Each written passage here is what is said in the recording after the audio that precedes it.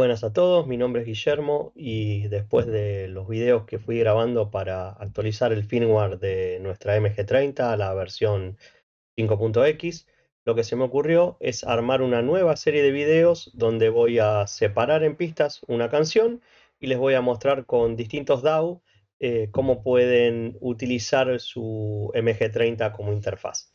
Para este primer video me voy a valer de una herramienta de inteligencia artificial que se llama Moises y en este momento voy a mm, ir directamente a mostrarles esa herramienta. Es una herramienta que la pueden usar a través de la web o la pueden usar también eh, a través de una aplicación. Lo voy estoy usando en la web, fíjense. Después en la descripción del video les voy a dejar eh, la URL para que puedan accederla, que es bastante sencilla. Es esta que está acá. Tienen que darse de alta crear una cuenta, yo ya la tengo y estoy eh, logueado, pero básicamente es eh, lo que tengo. Y lo que voy a hacer ahora es, voy a subir un archivo, ah, bueno, acá me está ofreciendo una oferta, estoy usando la cuenta gratuita que tiene algunas limitaciones que no las recuerdo bien, después en los comentarios del video les paso la info. Voy a usar una canción de Ataque 77, una banda argentina que es bastante eh, sencilla la canción y nos va a servir a modo de ejemplo. Vamos a cargar la canción. Le vamos a decir que la queremos enviar. Y fíjense que luego de un ratito de tiempo va a procesar la canción y lo que va a hacer es eh, separarla en pista. Que ya terminó de procesarla, me dice la velocidad de la canción, que la canción está en la escala de mi mayor. Puedo hacer un clic y ver, y en este caso me separa la voz, la batería, el bajo y otros instrumentos y además me va a mostrar un metrónomo. Yo lo que voy a hacer con esto es descargar las pistas y estas pistas las voy a importar en el DAW. No puedo poner eh, mucho tiempo eh, el audio para que no tengamos un tema de que lo marque por copyright, pero voy a agarrar al azar, fíjense, ahí suena todo si lo paro y tomo solo esta pista, tengo la voz. Después, Después tengo la batería.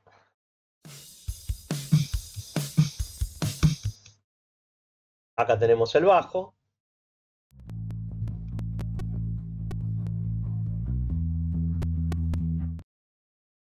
Y fíjense que en esta otra pista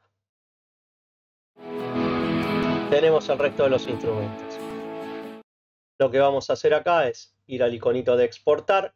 Le voy a decir que exporte todo y me va a generar un archivo que lo voy a descargar.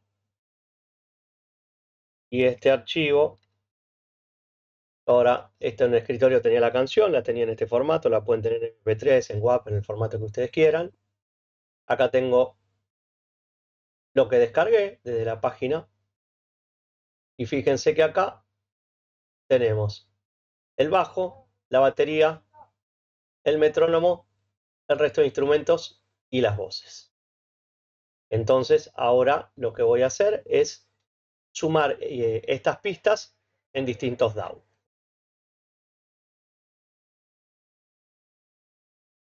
El primer ejemplo lo voy a hacer con Logic Pro, que es lo que generalmente uso.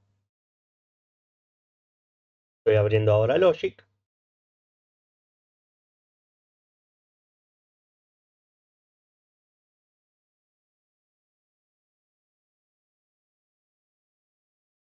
Voy a elegir que lo que quiero es tener los, dispositivos de entrada, que quiero tener de salida, eh, la salida 1 y 2. Le voy a decir que me ponga cuatro pistas. Le digo que lo cree. Y fíjense como enseguida me creó cuatro pistas. Acá directamente las crea y le pone ciertos efectos.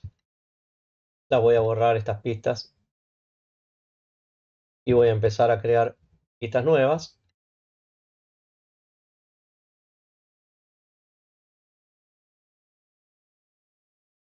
Acá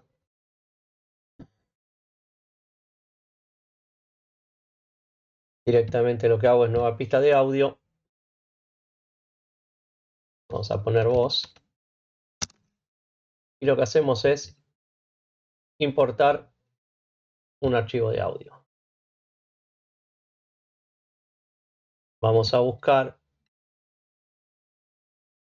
las voces. Ahí me va a importar las voces. Vuelvo a generar una nueva pista de audio.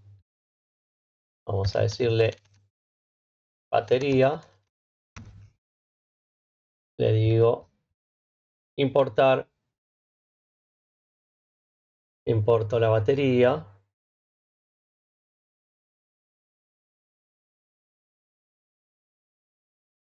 Eliminamos esta pista que no vamos a usar. Vamos a poner el bajo. Y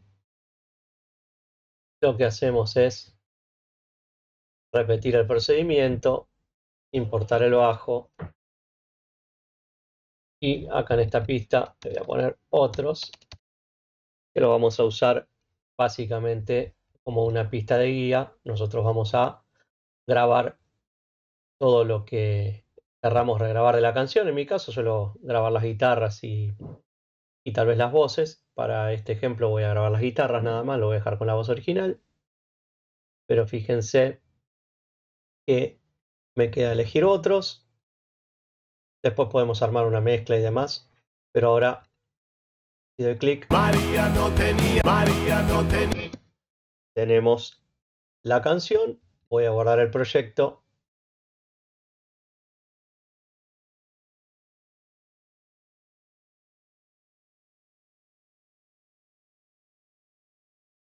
y el resto del proceso lo vamos a ver en otro video. Vamos a cerrar el Logic con el proceso guardado. Y lo que voy a hacer ahora es abrir Reaper, Reaper. Es un DAO que tiene un costo, pero se puede usar en forma personal. Fíjense que ahí me dice lo de la licencia, el tiempo que ustedes requieran y tiene un descuento importante si ustedes quieren eh, utilizarlo como evaluación. Entonces voy a realizar el mismo proceso que hicimos antes y vamos a decirle que queremos importar un archivo de audio. Antes de importar los archivos, lo que vamos a hacer es poner el tiempo del proyecto. Vamos a ir a la configuración del proyecto y le vamos a decir que todo lo vamos a manejar 140. Entonces desde acá vamos a ir al inicio y vamos a decir que queremos insertar un archivo. Les voy a elegir la batería.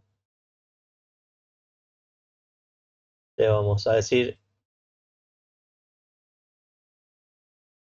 que no ajuste el tiempo. la termina de importar. Vamos a volver al inicio. Vamos a generar una nueva pista. Acá le podemos poner batería. Vamos a importar en esta segunda pista el bajo.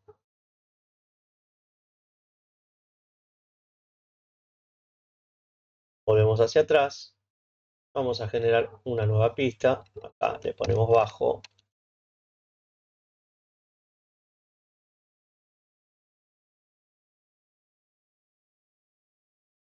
Vamos a importar la voz. Volvemos hacia atrás. Y vamos a importar otros. Voz.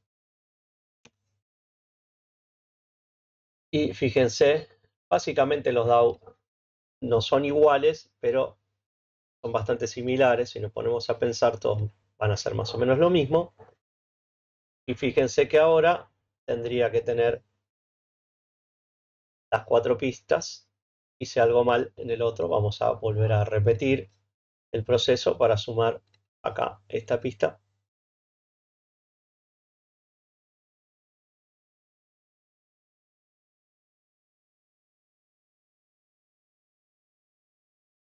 Esto fue lo que hice mal.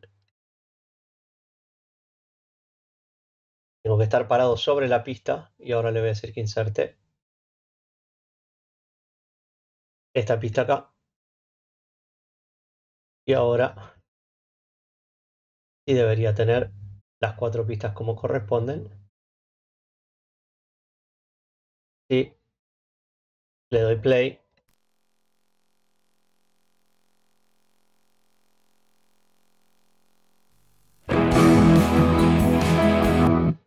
Veo que tengo todas las pistas, obviamente hay que mezclarlo, para que quede bien. Ciertas cuestiones, acá tuve picos y debo tener todo con mucho volumen, pero es una cuestión de dedicarle un poquito de tiempo y ordenar la pista.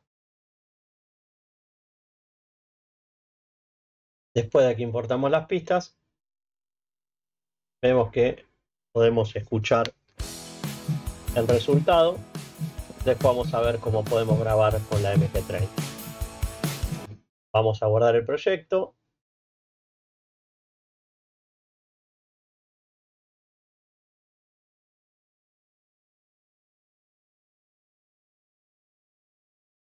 Y voy a seguir con el último DAO que me falta. Voy a cerrar Reaper y voy a abrir el NTRAC Studio abrimos el NTRAC. Fíjense que nos da la opción de abrir una nueva canción. La vamos a abrir. Me está generando acá unos ejemplos. Voy a borrar esta pista. Acá tengo una pista de audio. Vamos a poner sería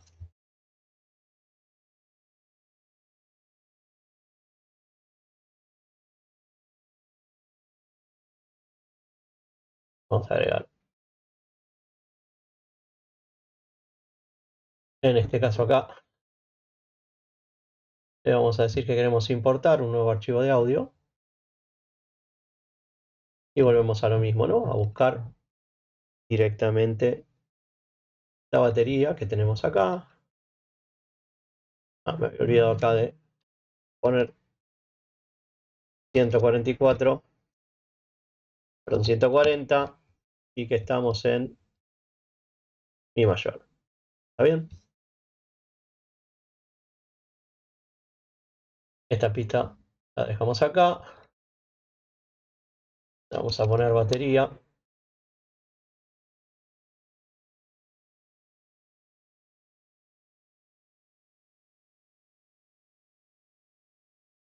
Vamos a importar el otro archivo de audio. Vamos a decirle que importe el bajo.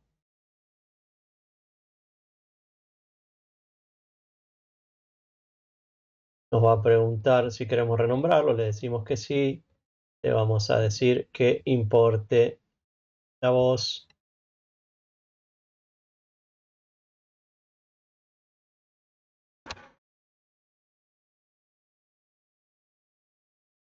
Y le vamos a decir también que queremos que importe los otros instrumentos. Algo importante, tanto este producto N-Track Studio como el Reaper son compatibles con Windows. Me van a ver más fluido trabajando con Logic, que es el que uso todo el tiempo, pero la idea es darles también la posibilidad a ustedes, a los usuarios que son de Windows, que tengan la misma posibilidad de usar esto. Son dos programas bastante eh, simples de utilizar, tanto el Reaper, que es bastante más conocido, y este N-Track que yo lo usaba hace muchos años cuando todavía usaba Windows, era algo bastante simple, ¿no? Fíjense ahora, le voy a poner eh, lo que sería otros. Algo importante, fíjense acá, que me está diciendo cómo quiero que esté la pista. La pista tiene que ser estéreo. Acá también, porque nosotros tenemos todo en estéreo, ¿no? Y ahora podemos escucharlo, igual que lo hicimos en los otros programas.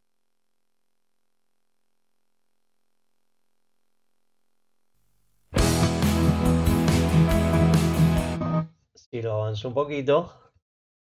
Paternal y de regreso al paternal.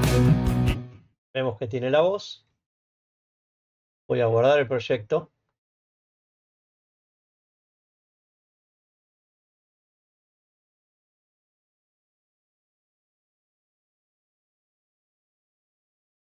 Guardar como. Y acá le vamos a poner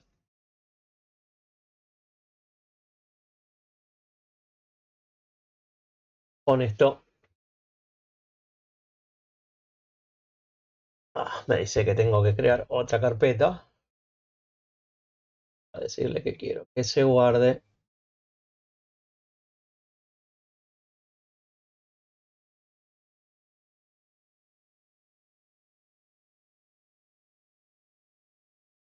Y ahora sí lo guardo. Con esto cierro el video y en los próximos videos lo que voy a hacer es mostrarles cómo tienen que configurar la MG30 para poder grabar las guitarras en cada uno de estos DAW. Espero que les guste. Nos vemos pronto.